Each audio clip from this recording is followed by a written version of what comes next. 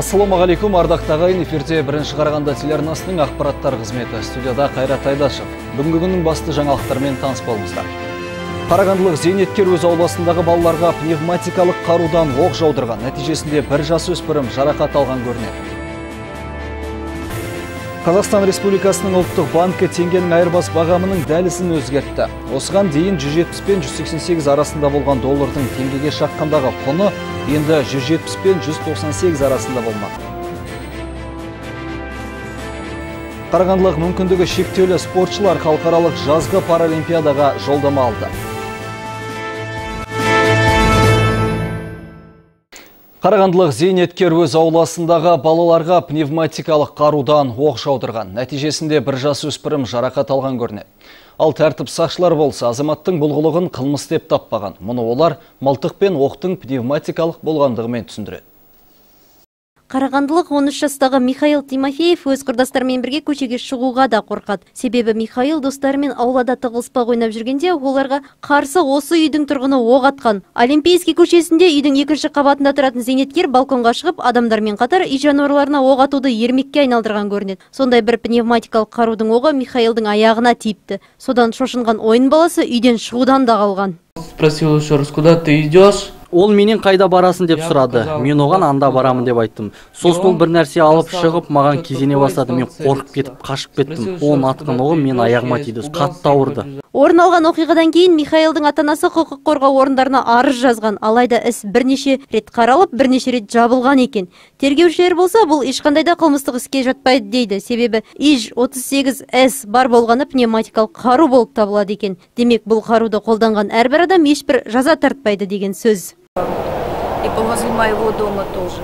Неліктен бұл қаруды ол адамның әрі қарай да қолдана беруіне рұқсат етті. Неліктен полиция қызметкерлері жануарлар құқығын қорғау қоғамдары еш қызығушылық танытпай отыр. Содан кейін барып полиция өкілдері біреуді жасырғысы келеді ма деген ойға келесіз. Бірақ ол кімге тиімді? Бізде құқықтық мемлекет емес таза іріктелініп алғандардың мемлекеті. Себебі бір жыл болды біз талай табалдырықты тоздырып жүрміз.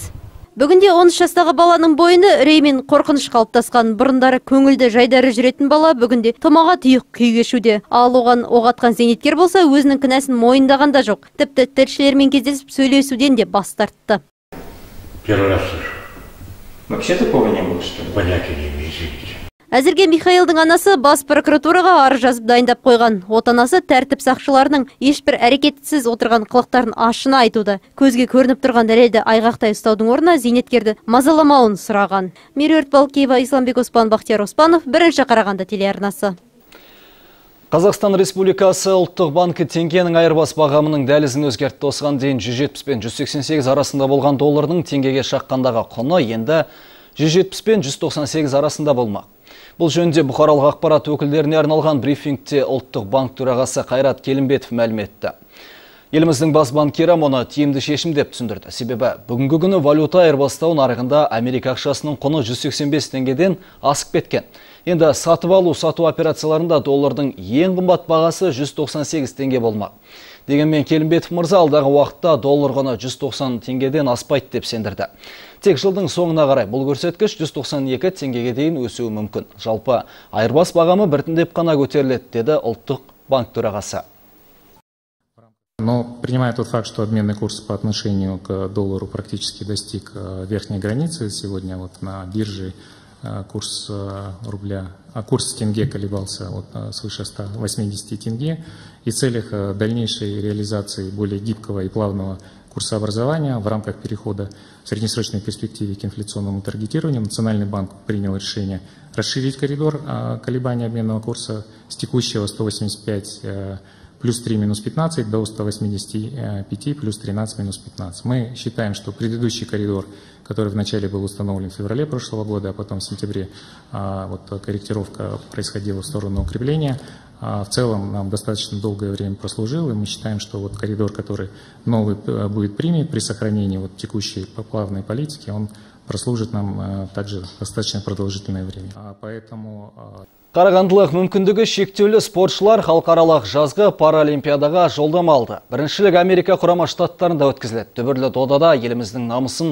төрт қарағандылық спортшы қорғайтын болады. Бүгінде олар қызу дайындық үстінде. пол ниже, нога, прогнулись, молодцы. Жарысқа дайындық жасөспірімдер спорт мектебінде өткізілуде. Оларға гимнастиканың күрделі әдістерін кәсіби бапкерлер үйретеді. Бұл жандардың денсаулығы қалыпты болғанымен ақыл есінде кемшіліктері бар. Вячеслав сидоренко гимнастикамен екі жылдан бері айналысып келеді. 26 жастағы жігіт өткен жылы республикалық тау шаңғысы турнирінде бірінші орын алған. Бірнеше спорт түрін қатар алып жүрген вячеслав лос анджелестен де жүлделі орыннан үмітті.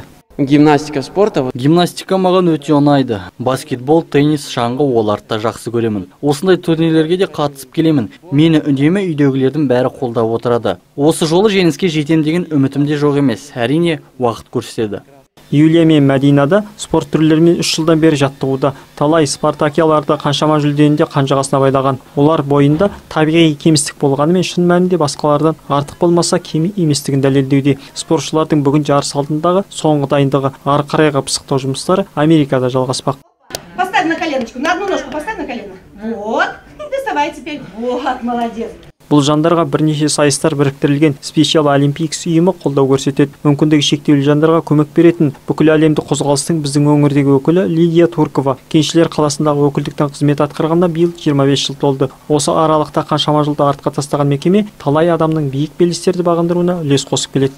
Впервые сборная команда қазақстан құрамасы спорттың 15 түрі бойынша бақ сынайды. пара олимпиадаға жалпы саны 98 адам аттанады. олардың ішінде 72 спортшы бар. онда әр елдің үздіктері келеді. Біз де жоғары жетістіктерге жетеміз деп ойлаймын. аталмыш қоғамдық бірлестікте 2000-ға тарта қарағандылық спортшы бар. Солардың ішінде ең үздік деп танылғандар шілденің 19-да америкаға аттанады. Тынымсыз еңбекпен шелектеп төгілген тердің нәтижесінде туған елдің даңқын шығаруға бұл спортшылар да атсалыспақ. Жаңабек наров жасұлан мақұлбеков бақтияр оспанов бірінші қарағанды телеарнасы.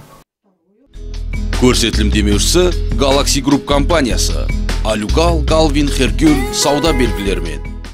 Галвин а классындағы телеселік жүйесі. Ұзақ мерзімділігі 60 жыл. Галвин профилі. Аязға төзімді сенімді берік сапаны бағалайтындар үшін. Көкпектідегі су қоймасының апатына қатысы бар деп танылған Владимир Крючков өзінің кінәсіз екенін айтып ақталуда. 2014 жылы орын алған апаттың салдарынан іргедегі ауылдың 200-ден астам үйі су астында қалып, 5 адам қайтыс болған еді. Арнайы тексеріс нәтижесінде Көкпекті ауылдық округ әкімі төтенше жағдайлар басқармасының бастығы мен су қоймасының иесіне ресми түрде айып тағылды. Уақыт өте кінәлілердің қатарын тағы бір жекеменшік фирма толықтырды.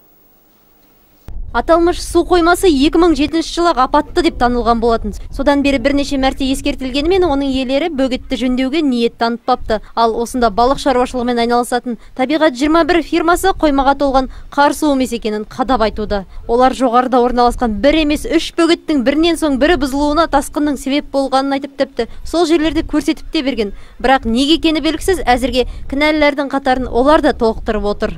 Мына Крючков сияқты кәсіпкерлер иә қарағанды облысында санаулы өзі иә оны мынау экономикаға мынау налогқа беріп жатқаны өте зор иә соны енді ол жаңағы жұмысын істеп ә, осы бюджетті дамытып оған өз үлесін қосудың орнына ол мінекей бір жылдың ішінде мынау құқық органдарымен сол бір неге келе алмай отыр Қараусыз жатқан бөгеттерден су кетті деген күні төтенше жағдайлар департаментінің басшылығы жоғарыдағы бірде бір платина жарылған жоқ деп азар да безер болды. Бар күнә мен кінәні жекеменшік фирманың иығына артты. Ал аталмыш фирма болса 2006 жылы 15 қыркүйекте Көкпекті су қоймасының ешбір гидротехникалық құрылыссыз жалға берілгенін айтады. Дәл сол уақытта су қойма агрофирма Шаңырақ жауапкершілігі шектеулі серіктестігінің иелігінде болған. Қорғаушылардың айтуынша жасалынып жатқан жұмыстардың барлығы заңға қайшы. Одна дамба рванула, вторая дамба рванула, колхозная. И все это в это водохранилище. Где и рванула Капитинскую дамбу. Оқиғаның неліктен бұлайша өріс алуы түсініксіз жайт. Кәсіпкердің құқығы бұзылғаны бұлай тұрсын, жүргізіліп жатқан тергеу бірнеше айға созылып кеткен. Егерде қосымша құжаттар дайындалмаса, біздің сұранысымызға тергеу орындары 15 күннің ішінде әрі кетсе, бір айдың ішінде жауап жазулары керек. Бірақ ол да жоқ дейді кәсіпкерлер палатасының басшылығы. Біздің негізгі жұмысымыз кәсіпкерлерді қолдау. Үлкені болсын кіші болсын иә. Сондықтан мына жағын да естиміз мындағын да естиміз. Сосын енді ә, прокуратура қандай іс шара қолданып жатқанын болса да жаңа айтып өттік. Ұлттық палатаға қатынас жазамыз Ұлттық палата бас прокуратура мен тергеу амалдарының барлығын қарап шыққаннан кейін ғана қатынас қағазына жауап береді. Бір, бір ай уақыт көлемін алуы мүмкін. Ал бір жылдан астам уақыт өткен көкпекті оқиғасын қарағандылықтар әлі ұмытқан жоқ. Төтенше жағдайлар басшылығы болса, бес адамның өмірі қиылып, өлшеусіз шығын әкелген зобалаңды табиғи апат деп құтылды. Тек кәсібін нәсіп еткен жекелеген бизнес өкілдеріне таяқтың бір ұшы тиюде. Меруерт Балкеева, Айдан Жақан Бақтияр Оспанов, бірінші Қарағанды телеарнасы. Қазақстандық жүргізушілер көлікті сенім хатсыз ақ тізгіндей алады. Жол қозғалыс ережелеріне бірқатар өзгертулер енгізіліп, тамыз айының ортасынан өз күшіне енді. Өзгертілген ережеге сәйкес енді жүргізушілер көлікті автотұрақтарда ғана емес, тұруға тыйым салу белгісі орнатылмаған жерлерге де қоюға құқылы. Дегенмен еліміз әлі бұл заңға дайын емес екен. Өйткені кез келген қалада тұрақтардың өзі санаулы. Бұдан бөлек шығарылғанына 7 жыл толмаған көліктерді енді техникалық бақылаудан өткізу міндетті емес.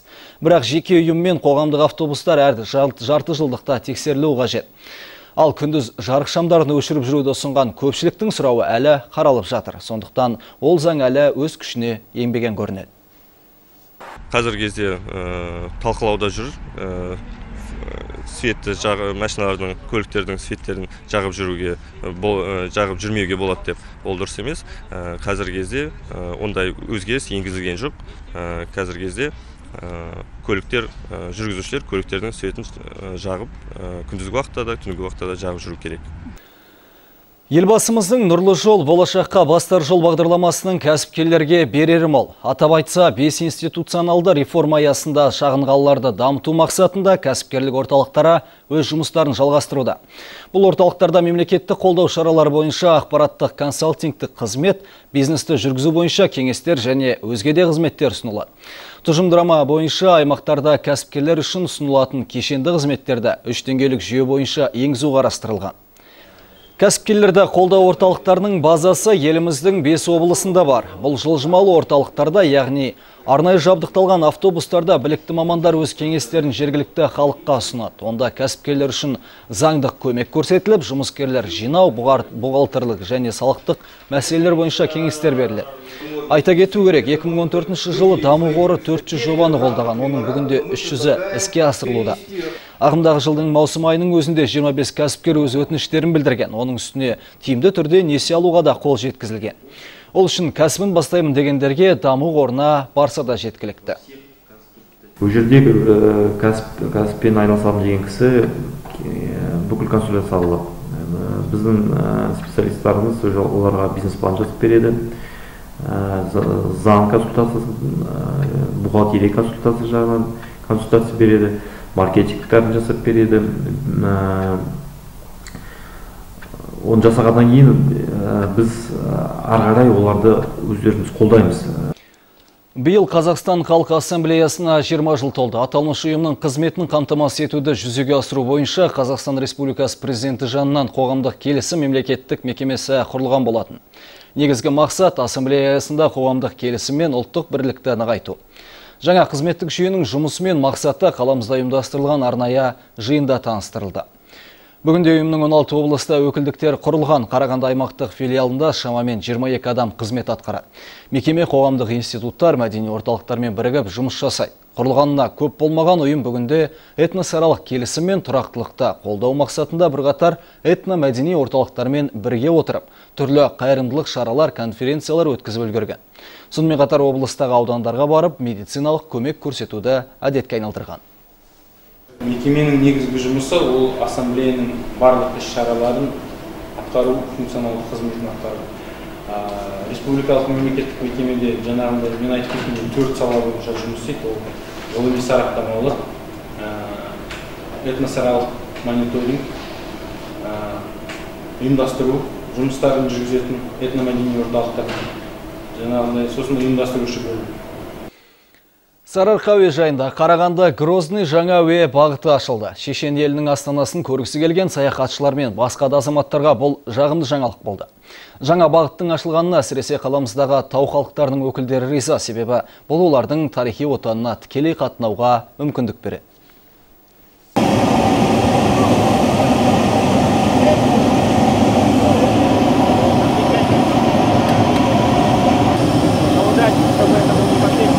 Сарыарқа әуежайына Грозныйдан шыққан ұшақ келіп қонды. Жолаушылар түспес бұрын кілем жайылып, қызыл лента қиылды. Жолаушылардың көңіл күйлері де ерекше. Айрықша сәттің куәсі болғандардың бірі теміртаулық тұрғын Руслан Яндие. Ол аталмыш әуе бағыты бойынша Грозный қаласына ұшатын жолаушылардың бірі. Теміртаулық тұрғын Шешен астанасына жұмыс барысымен жеке де шаруаларымен жиі қатынап тұрады. Бұрындары туған туысқандарына барып қайту үшін әуелі Астанаға кейін 2 сағат көлікпен барып, одан кейін ұшаққа отыратын. Бұл біздің уақытымызға да қаржы жағынан да үлкен қиындықтар тудыратын дейді ол. Мәз болған жолаушы енді алаңдамауға да болатындығын айтады. Очень много преимущества сделал этот рейс мне. бұл бағыт маған өте көп жеңілдік жасады себебі мен барлығын тосып алып шығарып салып жүремін әрине олармен астанаға дейін барамын Рейске шығатын ұшақ CRG 100 лайнері. Оның бортындағы орын 50 жолаушыға арналған. Ұшақтың ұшу кестесі әрбір аптаның екінші күніне қойылған. Айта кету керек, бұл бағыттағы әуе қатынасы бұрында болған, алайда соңғы 5 жыл ішінде белгісіз себептер бойынша тоқтатылған. Тоқтап қалған бағыт Сарыарқа әуежайы мен Вайнақ Шешен Ингуш этномәдени бірлестігінің бастамасымен қайта іске қосылып отыр. Позвольте поздравить всех нас сіздерді біз көптен күткен қуанышты хабармен құттықтағым келеді. Аталмыш бағыт екі қаланың ортасындағы көпір іспеттес. Қарағанды кеншілер астанасы болса грозный татулықты ту еткен қала. Жаңа бағыттың ашылуы қиындықтарды артта қалдыратынына мен сенімдімін. Сәт сапар тілеймін.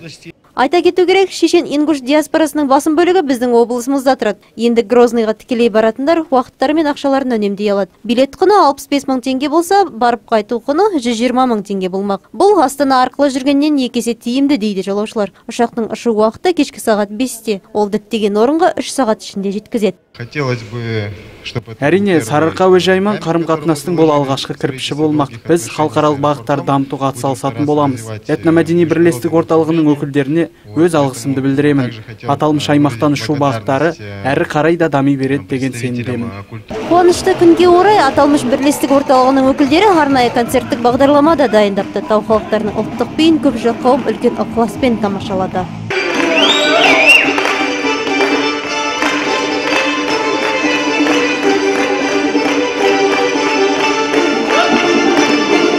Баукеева олжас ғаббасов бақтияр оспанов бірінші қарағанды телеарнасы Қарағандыда автомобильдер мен жүк көлігін жүргізушілер жол жөндеуге кесірін тигізуде.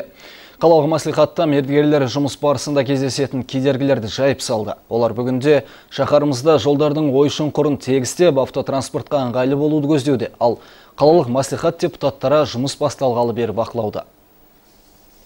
Биыл жол құрылысына 2,5 миллиард теңге бөлінді. Мердігерлер жұмысқа конкурс бойынша қабылданған. Қаладағы 18 көшедегі 34 шақырымға орташа жөндеу жұмыстары жүргізіледі. Қарағанды жол құрылыс компаниясы авалыкин көшесінің жолдарын жөндеуде пилоттық жобаларды енгізуде. Онда соқпақтар суағарлар жасалып абаттандыру істері кешенді түрде атқарылады. Алайда халық қалаулылары соқпақтардағы плиткалар қалыпты деңгейде болса оны ауыстырудың қажеті жоқтығын да атап өтті. Ну, насколько помню, эту почту ремонтировали, ее-то делали лет 6-7 назад. А вон, посмотрите, вон там брусчатку, которую еще не сняли. Она в таком состоянии плачевном.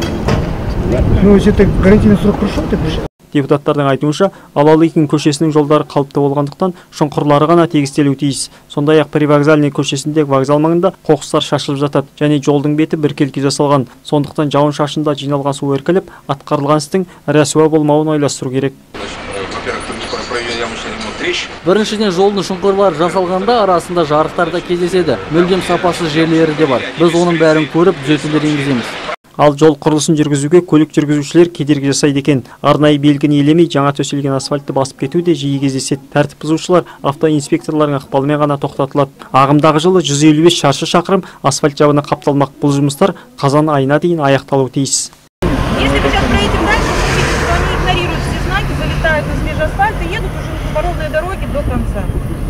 Сонымен қатар пичугин көшесіндегі суағарлар жөндеу биылда жоспарға енгізілмеген. Осы және басқа да жұмыстарды ескере келіп бөлінген қаржыны төкпей шашпай көшелердегі жолдың сапалы жасалуы бәріміз үшін де қажет дейді халық қалаулылары жаңабек наров олжас ғаббасов бақтияр оспанов бірінші қарағанды телеарнасы.